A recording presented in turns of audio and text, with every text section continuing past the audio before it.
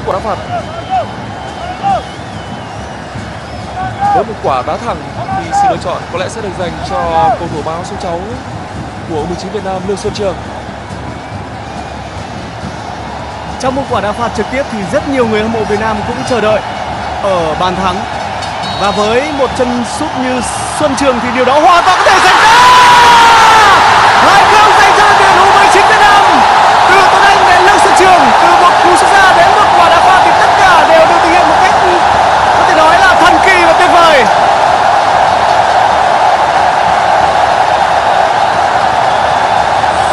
đó quả thực là những pha làm bàn khiến người xem thật sự xúc động. Bàn thắng được ghi cho đội tuyển U19 Việt Nam bởi cầu thủ Mỹ Đình đang chứng kiến những điều rất kỳ diệu từ các cầu thủ của chúng ta. Và như đã nói thì hôm nay những gì được coi là sở trường của từng cầu thủ đang được phát huy. Những đường cong mỹ miều tuyệt diệu ở Mỹ Đình. Và chứng kiến bàn thắng này của Lương Xuân Trường thì chúng ta lại phải nói lại những một câu nói rất dân dã khi xem U19 Việt Nam thi đấu, đó là sướng mắt.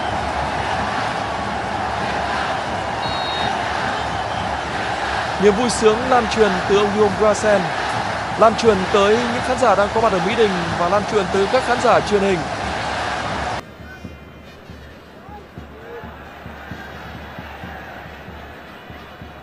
Phá phối nhanh của U19 Việt Nam. Công Phượng Công Phượng trong vòng vây của 4 năm cầu thủ U19 Australia thì Công Phượng vừa rồi đã tạo nên một tuyệt phẩm.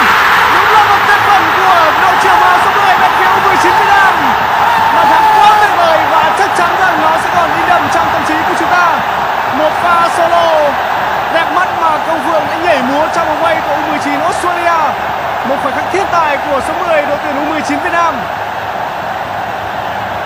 cuồng nhiệt mà các cổ động viên đang có mặt ở sân Mỹ Đình và sự chờ đợi của hàng triệu hàng triệu các cổ động viên trước màn hình của đài truyền Việt Nam đã được đền đáp với một khoảnh khắc đúng là bùng nổ của Công Phượng.